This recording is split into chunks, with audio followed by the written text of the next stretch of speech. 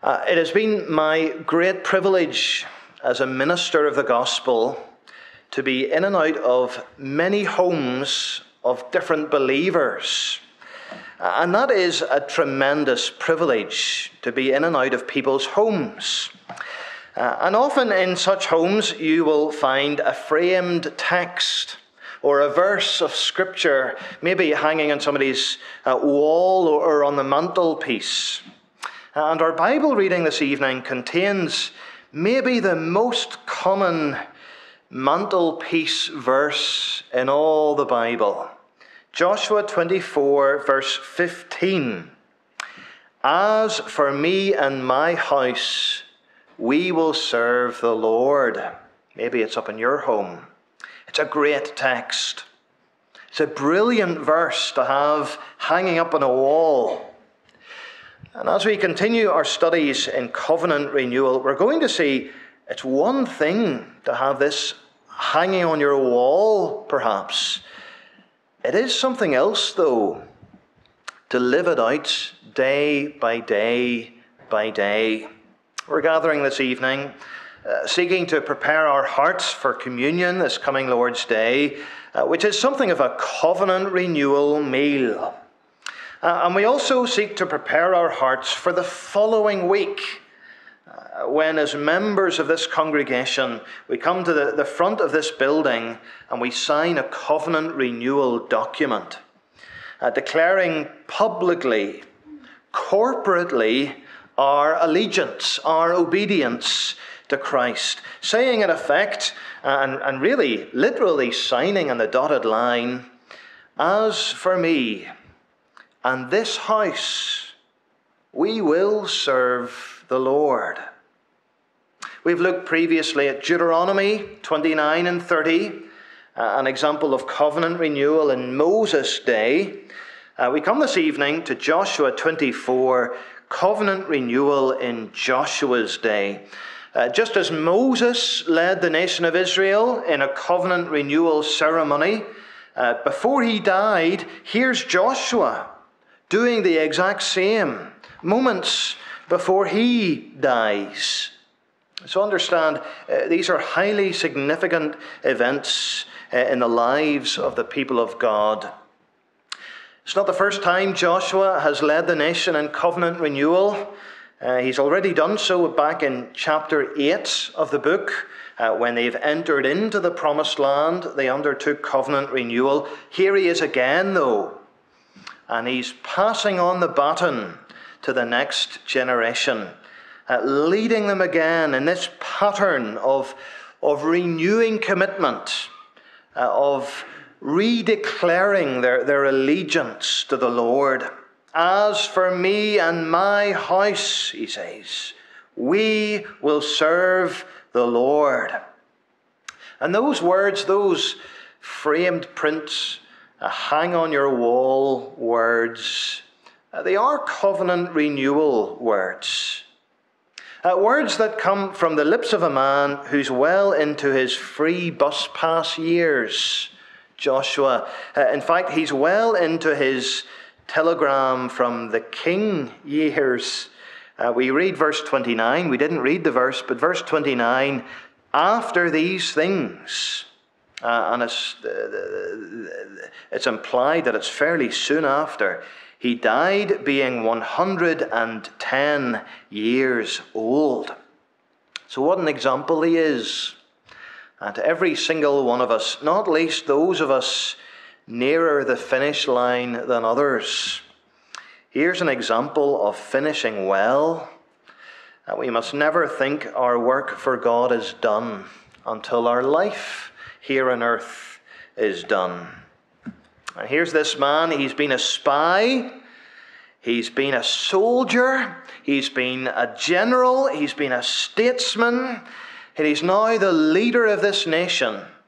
And he gathers them all together, all the tribes, and he calls them, and indeed us this evening, uh, to consider uh, three things uh, from the chapter together. Firstly, our covenant story. This is verses 1 to 14. Our covenant story. Just like the example from last time in Deuteronomy, uh, so this covenant renewal ceremony uh, it follows the shape of other covenants. It follows the pattern of other treaties that were around about in that time. Uh, scholars and historians, uh, they've discovered something of a standard arrangement when it came to people making these covenants together and people entering into treaties one with the other. So we might not see anything noteworthy about the structure here, but Joshua's listeners certainly would have. Here were people, they were already in covenant with God. That's maybe important to underline. This isn't the start of a new arrangement. Uh, this isn't new relationship language happening here. Rather, it's a recommitment to an already existing relationship. It's a renewal of covenant relationship already in place. Joshua is about to leave them. And these people, they need encouraged to recommit themselves to serve the Lord. And Joshua begins and he spells out the history for these people. The history between the two parties, between God and these people. And actually, even before he speaks, the place in which he gathers them uh, is highly significant. Uh, the place where this happens is full of nostalgia for the nation of Israel, full of history. Verse 1 He gathered all the tribes to Shechem. Now, 500 years before, Genesis 12, it was at Shechem, this very place that the Lord first appeared to Abraham. And the Lord told Abraham the place where he was standing uh, would become the possession of his descendants. It was here. And it was here where both Abraham and Jacob built an altar to worship the Lord, Shechem. It was also here where Joshua brought the Israelites in chapter 8 to renew the covenant back then about 40 years previously to this occasion. So, much like London, to a proper Englishman is full of great history and nostalgia, so Shechem uh, to the Israelite was full of historical significance. And it's as if Joshua is saying, Let's come here. Look, it's here where the Lord made covenant promises before to our father Abraham, and God is faithful to keep those promises. Let's come to Shechem. Let's remember all that God has done for us here. And he does, he details the covenant story. Verses 2 and 3, he reminds them of how God took Abraham from a pagan family in a pagan land how God gave Abraham so many descendants that he wouldn't be able to count them. How God took these descendants out of Egypt and through all the years in the wilderness, how God delivered them uh, time and time again in battles and conquests. You have different enemy nations listed time and time again. God gave the victory. And Joshua is reminding the people this is all about what God has done for you. Uh, he even phrases the language, verse 2 Thus says the Lord. Uh, Joshua doesn't actually often speak like that. That isn't the way Joshua's speeches often started. Uh, that's prophet kind of language uh, God's spokesman kind of language. He, Joshua's the messenger now, and he says, This is all about what God has done. And actually, if you, if you look just the way it's all phrased, uh, God is speaking through Joshua. I took, I led, I gave, I brought you out, I sent, I delivered you. It's very clearly about what God has done. The emphasis is all about God's actions. Uh, verse 12 underlines it very clearly. The end of verse 12 it was not by your sword or by your bow.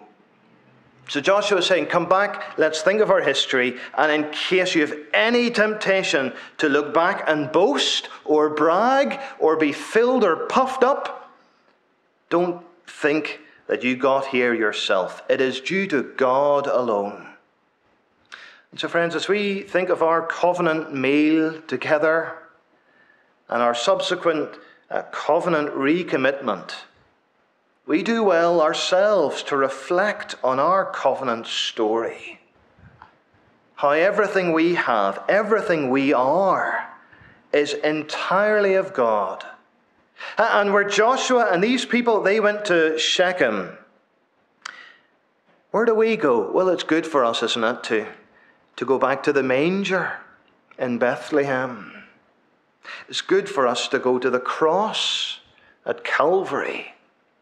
It's good for us to go to the empty tomb and to reflect on God's grace to unworthy sinners like you and me. Those are our Shechems. How God's hand has been at work in our lives from before the foundation of the world.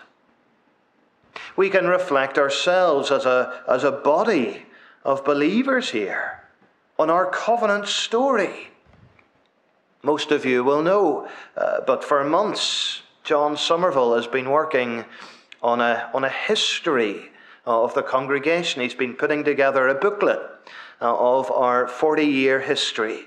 And what a helpful resource this will be for us as we prepare for covenant renewal. God willing, uh, you'll be able to get a copy this coming Lord's Day, a free copy for every home. Uh, what, an, what a helpful resource to look back and to be able to remember all the ways He's been so good, the covenant story of God's covenant people here. And so, friends, as we come this coming Lord's Day as well, we could look back and think even since the last time we did so, our covenant story in those months, how God has guarded us, kept us, sustained us, the ups, the downs, through it all, he's been the ever faithful God. So Joshua calls the people, he calls us this evening, think over your covenant story. Your covenant story. The second thing, our covenant commitment. Our covenant commitment. This is verses 14 to 21. It is good to remember the past, but it's not good to live in the past. Uh, it has been said it's very difficult to walk forward when you're always looking back. And it's almost as if Joshua uses the historical background as a, as a springboard, as a launch pad for, for moving and propelling these people forwards. And that's a good way to think of our own history as well. Uh, he calls the people to a fresh covenant commitment. Verse 14. Now, therefore, fear the Lord, serve him in sincerity and in faithfulness Put away those false gods and serve the Lord. Now, do you understand, Joshua is not speaking to ungodly pagans here. He is speaking to the covenant community of God, a worshipping, serving covenant community. But he knows that in reality, uh, their hearts are mixed. Uh, and, and they're serving other gods. And he's calling them for wholehearted, sincere service.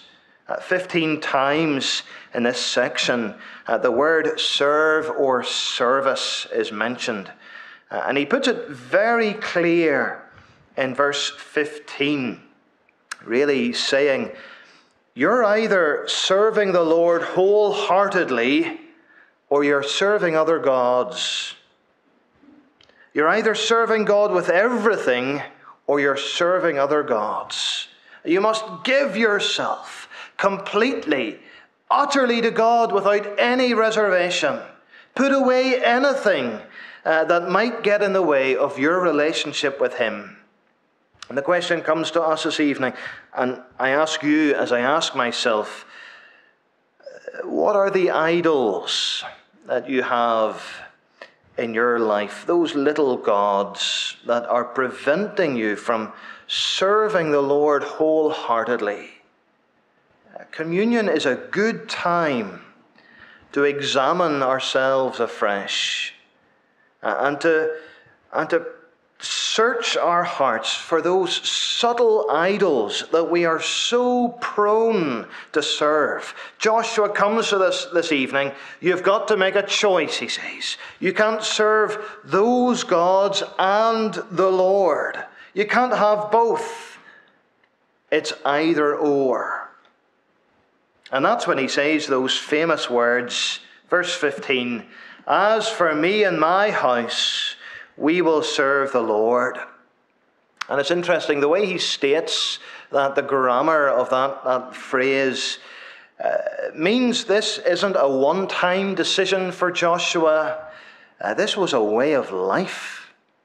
A way of life. He could have put it, I have chosen to serve the Lord, and I am choosing that service now, and I will go on choosing to serve the Lord.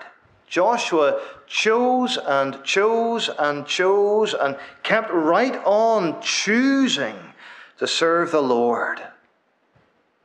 And that's the challenge, isn't it? Every day is a life of choosing to keep on serving the living God. It's not just a verse that you stick up uh, when you uh, get home from honeymoon and that's it. This is a day by day choosing to serve the Lord.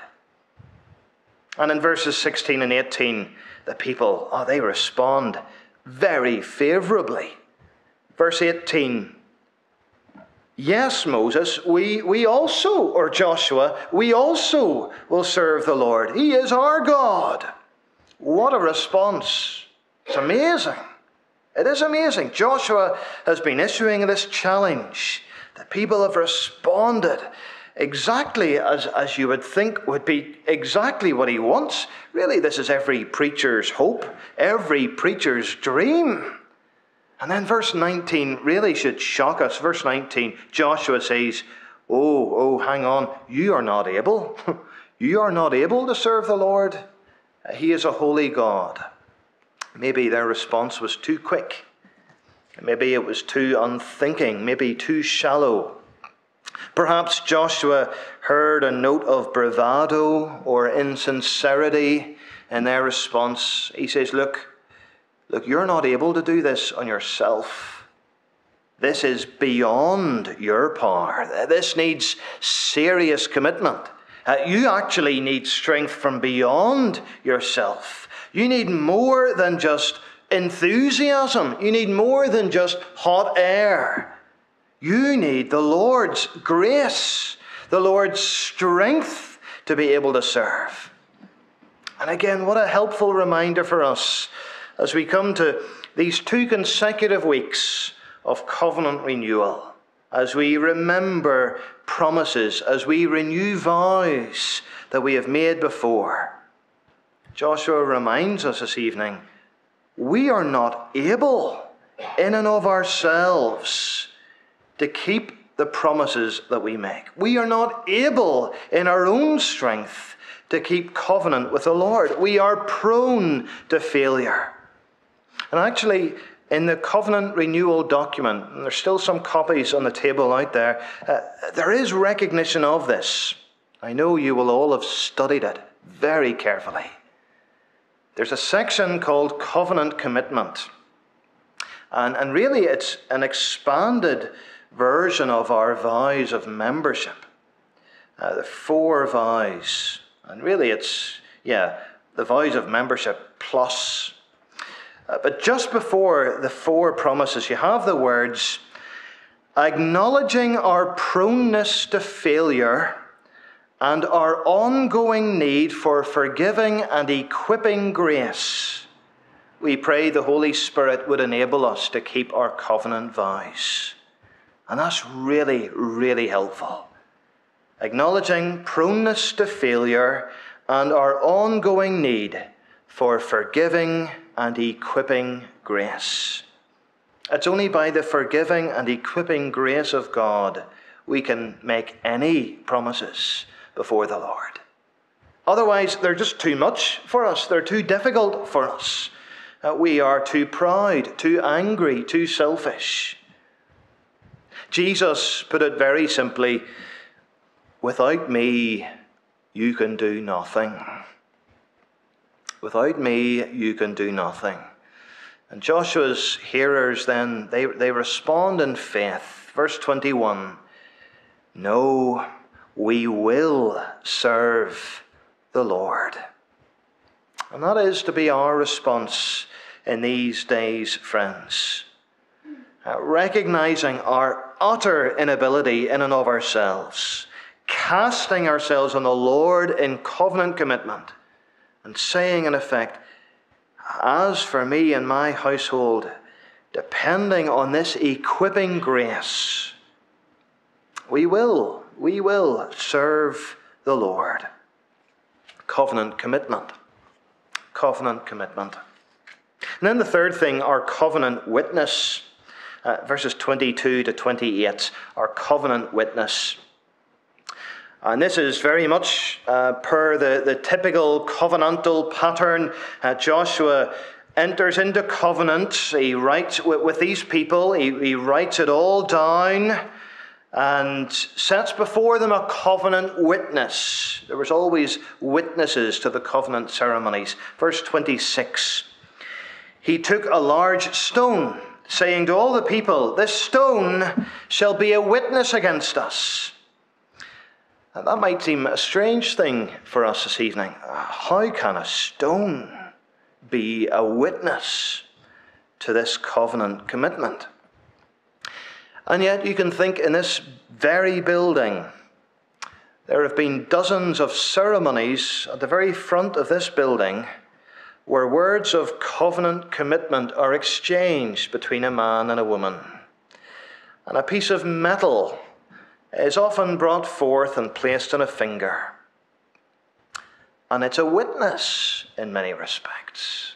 It's a testimony of those words of covenant commitment, an ever present witness of vows that have been taken. Not something of the idea behind this stone Joshua sets up. This would be a perpetual reminder to the Israelites of what they have promised of covenant commitment. And you should know our covenant renewal will likewise have a covenant witness.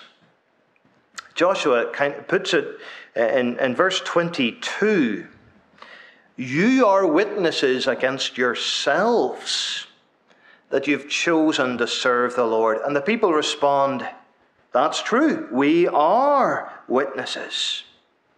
So as we come to a covenant meal and covenant renewal, we do so, we remember, as a body, collectively, corporately, uh, witnesses of one another.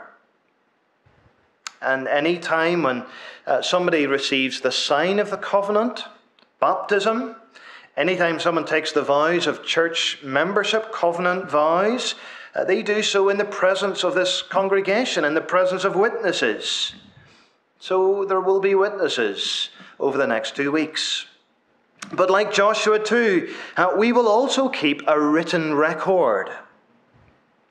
Uh, you, you might already know, but before our meeting this evening, the elders, we met together, we constituted ourselves in a formal way for the purpose of overseeing the Lord's Supper. And we don't just do that for the fun of it. Uh, we don't just want to give Marcus some extra things to write up. But it is important that there is a record kept a record of covenant renewal. Uh, there's a record kept of every time someone enters into church membership. Uh, there's a record kept of every time the covenant sign is applied to a little child or to a, a, an adult believer. And when we come to renew covenant together at the 16th of October, there will likewise be a record kept. Uh, the minutes of our session book will record something like 16th of October, covenant renewal.